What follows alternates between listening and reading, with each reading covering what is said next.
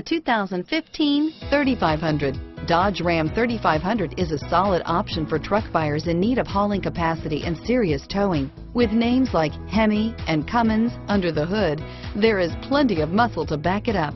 Here are some of this vehicle's great options.